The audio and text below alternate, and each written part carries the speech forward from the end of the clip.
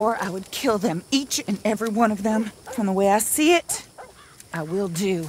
I'm afraid my mind's made up. But Mrs. LeClerk, Teddy Brown, he's just a second-rate, common, no-good horse thief. You kill him and the rest of his boys, well, you'll wind up in jail, or worse. And we will never find out who killed your husband. You know it, and I know it. I believe Teddy Brown killed my husband. If he did so, he did it on behalf of his sister, her husband, or Jeremiah Shaw. Perhaps, Besides, but... he's holed up in there, besieged by marshals. Marshals?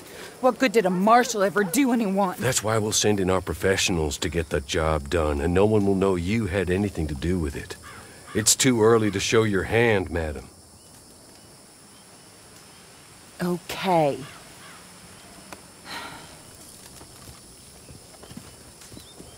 You, come with me. And remember, these are the people that put you in jail. So don't overly concern yourself with pity. Madam, stay here. Please.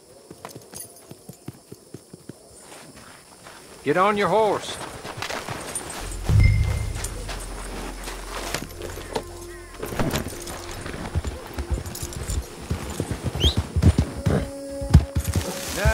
I know you're willing to do good and bad as it suits you. And maybe that's everyone's right, and maybe it's the right way to be. You seem to live by your own rules. In some ways, I admire that. Although maybe at times you seem a touch confused? Confusing? I don't know. But I hope, either way, good, bad, or plain indifferent, after all she has done for you, that you will be loyal to my mistress. Kill Teddy Brown, not out of vengeance or righteousness, but out of duty to her, compassion for her. Thinks he got away with taking my master and taking your freedom. Show him he hasn't. It's what you owe. Brown's shown himself to be a desperado, more than his other three conspirators. Wears a gun on his hip like the one that shot my master. Dangerous. And he's made himself very hard to kill. You get close enough, you'll see. I've tried to make the fight somewhat even. And just wait till we get there, okay? The marshal and his men were in hot water when I left them. Pushed off their guns and almost out of the fight. Let's hope things have improved a touch. How you getting on, Marshal? Well, that bastard is holed up tight as he can be. I've already had two men shot since last we spoke. That's too bad. Luckily, I brought in the cavalry, so to speak. You have, huh? Yes. My associates. And what's more, I think I found a way of ensuring they don't get themselves shot.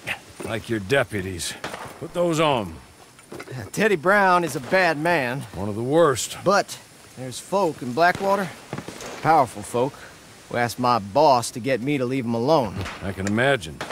Amos Lansing and Jeremiah Shaw, perhaps? I don't know, maybe. My lord, look at you. I read about this. Australian, I believe. Always wanted to see if it works. My friends, let me take you up. Come on. Bring us Teddy Brown. Dead or alive. Yeah, the fort is protected by blockades. See? Front and rear.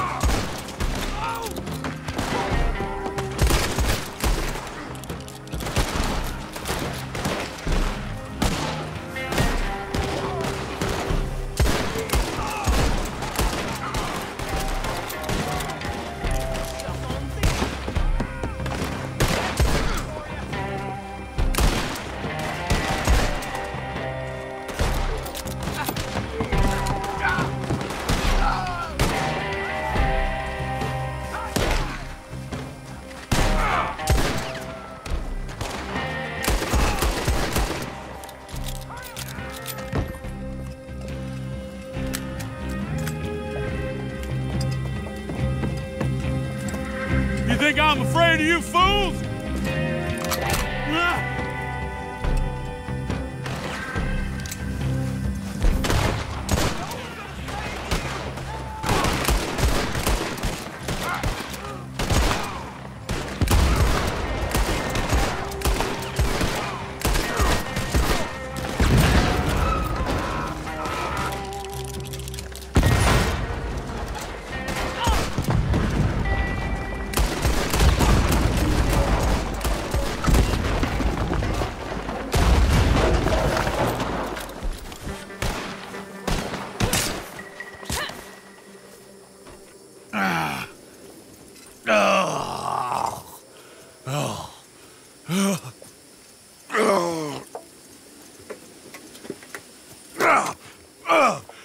God damn you!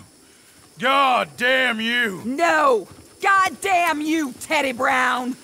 Hello, Mrs. LeClerk. Who killed my husband? Who killed my husband? Your husband? That little milksot? Oh, I guess I imagined he was your brother. No woman would ever marry his kind. Oh. I did kill him. I did it. And he was begging for his life. Pathetic, really. Who put you up to it? Who? Lady, that's none of your damn business.